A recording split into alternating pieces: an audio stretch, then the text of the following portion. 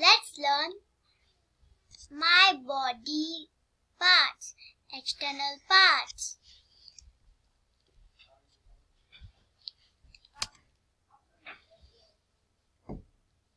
Our body is a wonderful living machine. It can see, hear, smell, taste food, move, pick, up, hold, grow, breathe. Body has two types of parts, external parts and internal parts. External parts. External parts we can see from the outside. It is made up from three main parts. Head, trunk and limbs. Senses organs. Special organs senses pass of the information to the brain. We know how to word by them. First, eye. Eyes help us to see things.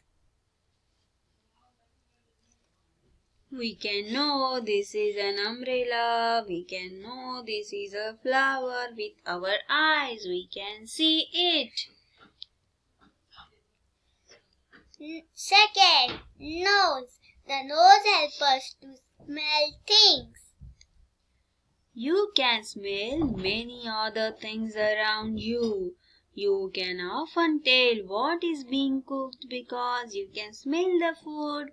You can smell flowers and fruits.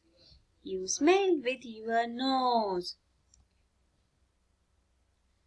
Yes, this smell is coming to you. Third, ear. Ear help us to listen music.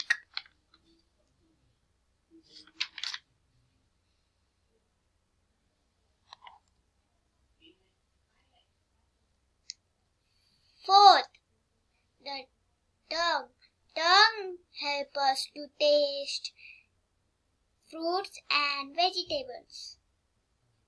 To taste food. There are taste buds on your tongue that help you to taste.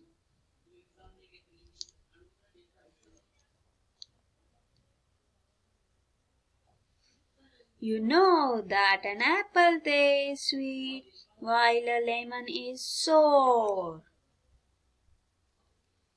Ski. Fifth, skin. Skin help us to touch, touch things and feel also.